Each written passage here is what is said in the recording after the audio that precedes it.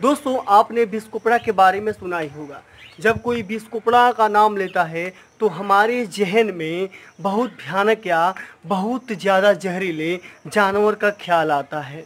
Right? क्योंकि गाँव में देहातों में लोगों का मानना यह है कि जो सांप होता है, अगर वो बीसवा अंडा देता है, यानी कि उन्नीस के बाद जो बीसवा जो अंडा होता है, अगर वो बीसवा अंडा देता है तो उस अंडे से जो हैचिंग होता है, यानी कि जो बच्चा निकलता है, वह सांप नहीं, बल्कि बीस कोपड़ा नामक जीव बनता है। और यह जीव बहुत भयानक होता है, यानी कि अगर किसी को काट ले तो व्यक्ति की मृत्यु हो जाती है।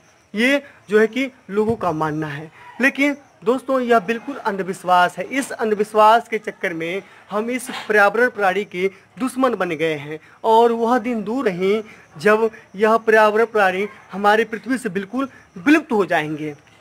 तो आज के हम इस वीडियो में इस बिस्कुपड़ा के राज के बारे में मैं आपको बताने वाला हूँ। तो चलिए दोस्तों, वीडियो को शुरू करते हैं। दोस्तों, आपने गुह का नाम तो सुना ही होगा, जिसका साइंटिफिक नेम होता है मॉनिटर लिजॉर्ड जो बिल्कुल छिपली के समान थोड़ी बड़ी प्रजाति होती है राइट और आ, ये जो आपका गो है इसी के श्रेणी में डायनासोर भी आया करते थे यानी कि डायनासोर थे इससे बड़े साइज़ के हुआ करते थे पुराने यानी कि करोड़ों साल पहले राइट तो जो गो होता है वह संघ का डेटा के सरीसृप वर्ग में आता है और जिसमें छिपकली सांप यानी कि रेंग के चलने वाले जितने भी जीव हैं उसी श्रेणी में ये भी आता है ये भी रेंग के ही चलता है। अब ये जो होते हैं ना इनका आवास होता है स्पेशल तरीके से पानी में भी पाए जा सकते हैं राइट? धरातल भी, भी आपको देखने को मिलेंगे और पेड़ों पर भी चढ़े आपको देखने को मिलेंगे राइट? अब इनका जो भोजन है, ये गिलहरी को खाते हैं, ये और मांसाहारी होते हैं। गिलहरी खाते हैं, सांपों के अंडे खाते हैं या सांपों को भी खा जाते हैं, राइट?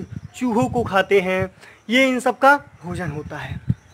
तो अब बात करते हैं कि एक जो मादा गू है, वह पंद्रह से बीस सफ़ेद रंग के अंडे देती है। उस अंडे से जो बच्चे निकलते हैं, बेहद चटकीले रंग के निकलते हैं और उनके शरीर पर सफ़ेद सफ़ेद बिंदियाँ पाई जाती हैं राइट तो यह जो जीव है, यानी कि जो बच्चे हैं, वे बिल्कुल गोह से अलग दिखते हैं। अब लोग इसी बच्चे को कोपड़ा मान लेते हैं। यानी कि जो गो होती है ना, वह अपने भी अंडे खा जाती है। अगर कोई अंडे से अगर बच्चा नहीं निकल रहा है, कोई अंडा कमज़ोर है तो उसे खा जाएगी। तो इस कंडीशन में गो के साथ ये बच्चे देखने को नहीं मिलते हैं। तुरंत वहाँ से भाग जाते हैं। जो निकलेंगे, वहाँ से एक सिंगल भाग जाएँगे। तो सिंगल कहीं कहीं आपको यह जीव देखने को मिलेगा, लेकिन यह जीव आपका बिस्कोपड़ा नहीं है। यह जीव आपका जो है कि स्पेशल तरीके से गोह का बच्चा है, जो गोह से अलग दिखता है। जब वो बड़ा होगा तो बिल्कुल गोह की तरह वह हो जाएगा। राइट इस चक्कर में लोग इस जो है कि प्रवरण प्राणी गोह के बच्चे को मार देते हैं। ये कोई बिस्कुपड़ा नहीं है। दोस्तों, आप समझ गए होंगे कि बिस्कुपड़ा का मतलब। राइट? बिस्कुपड़ा ऐसा कोई जीव नहीं होता है। आप अपने दिमाग से इस अंधविश्वास को निकालिए। आप साइंस तरीके से समझिए। लोगों के कहने पे कहे पे विश्वास ना कीजिए। आप थिंकिंग कीजिए और जो है कि आप साइंस के नज़रिए से समझिए तो आपको पता चलेगा कि बिस्कुपड़ा नामक कोई जीव नहीं होता। और मैं आपको बता दूँ, कुछ लोग ये भी कहते हैं कि जो गो होती है, वह अगर काट दे या फूंक दे तो शरीर का हिस्सा जो होता है सड़ने लगता है। लेकिन एक चीज़ मैं और बता दूँ कि जो गो होती है, वो बिल्कुल जहरीली नहीं होती है। राइट, अगर काट दे तो कुछ नहीं होने वाला। ये हाँ यह हो सकता है कि कहीं उसके मुँह के अंदर जो लार है, उसमें कुछ बैक्टीरिया हो। अगर वो जबड़े से काटती है कहीं तो वहाँ पे घाव बन जाएगा। तो बैक्टीरिया के चलते वहाँ पे घाव थोड़ा ज़्यादा दिन तक रह सकता है, दर्द हो सकता है, ये हो सकता है। राइट, लेकिन गुह के काटने से या बिस्कुपड़ा के काटने से किसी की मृत्यु नहीं होती, ये बिल्कुल अंधविश्वास है दोस्तों, बिल्कुल अंधविश्वास है। आई होप आपको ये जानकारी बहुत अच्छे तरीके से समझ में आई होगी कि बिस्कुपड़ा जीव है क्या।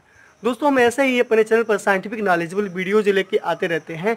ऐसे साइंटिफिक नॉलेजेबल वीडियोज़ को देखने के लिए my channel biology by Miraj sir को सब्सक्राइब करें और इस वीडियो को दोस्तों लाइक करें और इस वीडियो को ज़्यादा से ज़्यादा शेयर करें ताकि और लोगों को पता चले कि बिस्कुपड़ा जो जीव है, वह है क्या? और इस पर्यावरण प्राणी के लोग दुश्मन ना बने। राइट ठीक है दोस्तों, आज के लिए बस इतना ही है, धन्यवाद।